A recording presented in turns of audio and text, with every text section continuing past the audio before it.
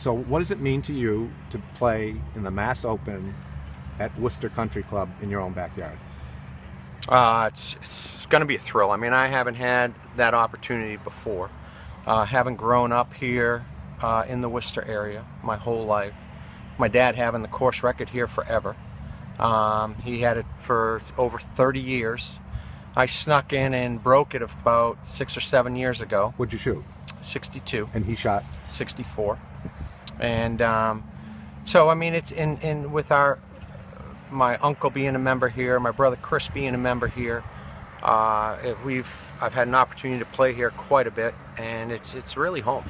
I mean, it's uh, you know all the members are a lot of my very good friends, so it's uh, it will definitely be a lot of fun.